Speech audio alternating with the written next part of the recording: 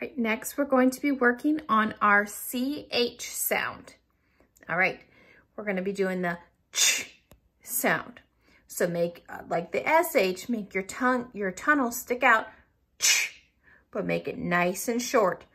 Ch, ch. All right, CH is another digraph, making of the C and the H, ch.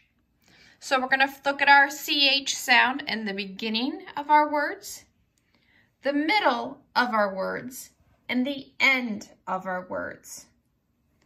All right, let's look at the beginning. All right, let's use our good, look in the mirror, stick your tunnel out, and make it a good CH. Cheese. Chick. Chop children, cheek. Now let's find our CH in the middle of words. Enchilada, teacher, kitchen, touchdown, matches. Very good.